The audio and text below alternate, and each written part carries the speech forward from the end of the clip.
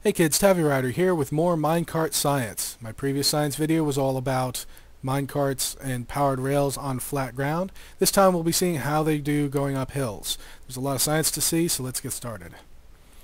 With 1, 2, 3, 4, 5, and 6 powered rail in a row, we see how high up the slope those minecarts get.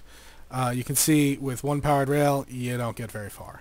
With 6, you can almost make it up, you can pretty much make it to 4 altitude, which is not a lot. I mean, when you compare it to a powered, uh, when you compare it to a booster cart, where you could fly up an entire mountainside with a bit of a boost, this is anemic. So this is not really the right way to use powered rail.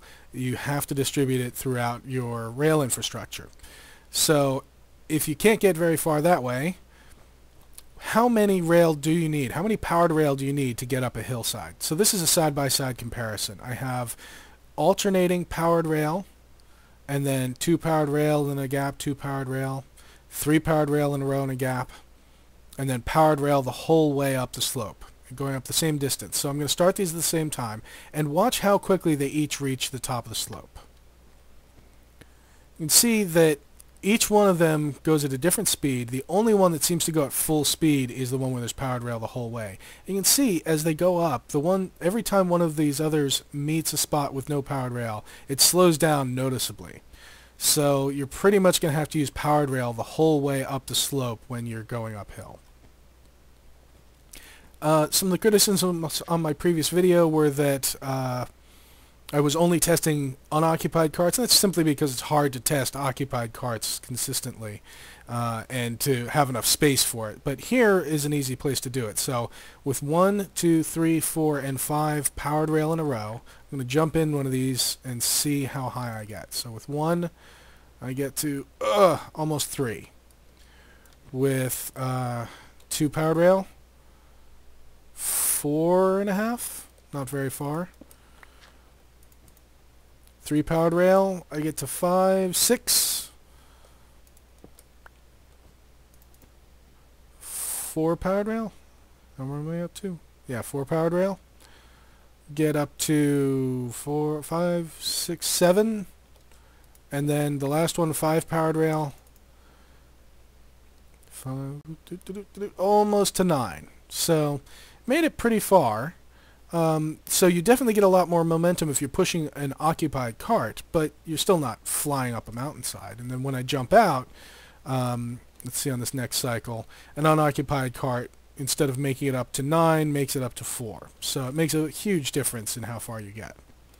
So let's turn to a practical application of that.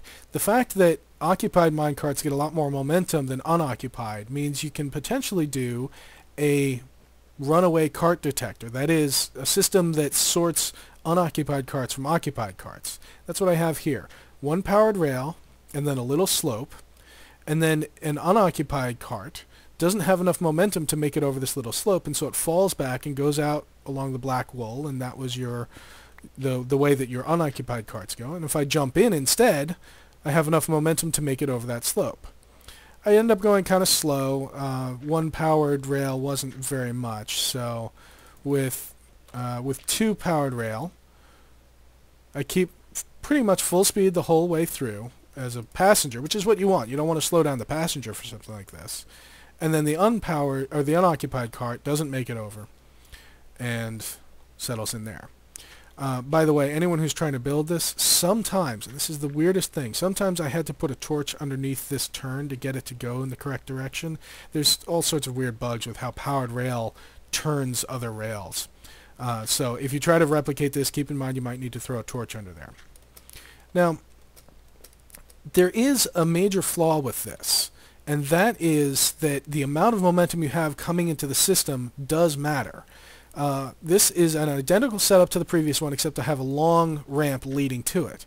You can see this time the unoccupied cart has enough momentum to make it over the ramp. This, uh, uh, some people have claimed that when you uh, hit a powered rail, you the, the powered rail will reset your momentum. And if that were the case, then we would get the same results every time, right? Whether we had a long ramp leading into it or not. But the fact that there's a long ramp coming in and the minecart hits this with a lot of momentum, it's able to make it over the top of this uh, this hill. So it couldn't be resetting your momentum.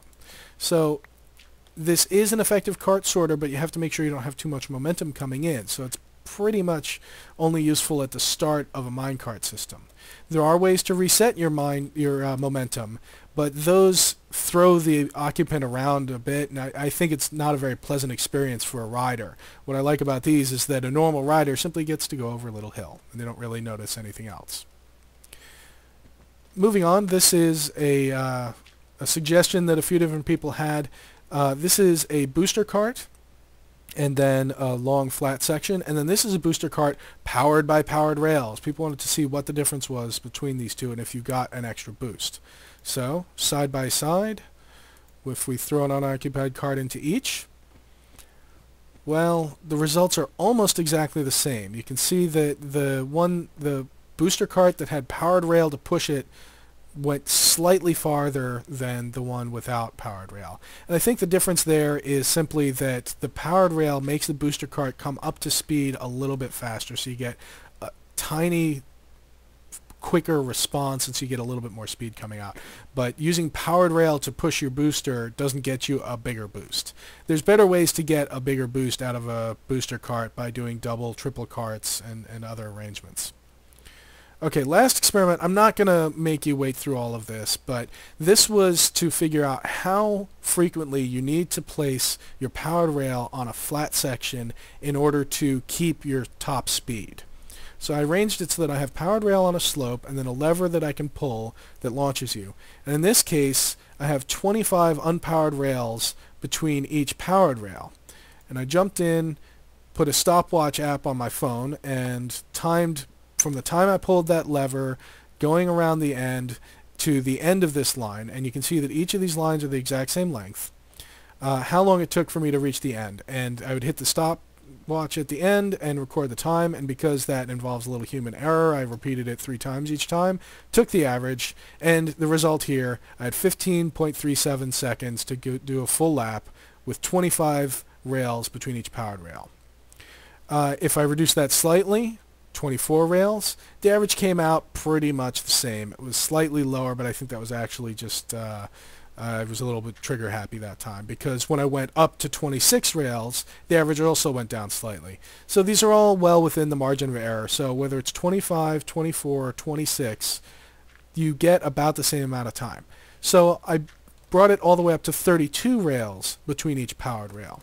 And when I ran this experiment, here's a really interesting part the time went up by about a quarter second consistently. And this one is a noticeable difference. Um, and this is really good news because yes, you are starting to lose momentum slightly before you reach the next powered rail, but that loss of momentum is so slight on flat ground that you really don't notice a difference. That means that as long as you place your powered rail around every 30 uh, spaces, you're going to get there in about the same amount of time. You're not going to be able to notice a quarter second difference over that long of distance, and unless you're racing, in which case put powered rail everywhere. So uh, 32 if you want to, 30 or so if you want to keep top speed. So that's more minecart science. Uh, please post your questions if you have any ideas for more, but I have lots of other ideas that I want to do. Science is fun, but there's also the practical applications, so I think that's what you'll be seeing in my next one with a powered um, rail minecart station. Thanks for watching.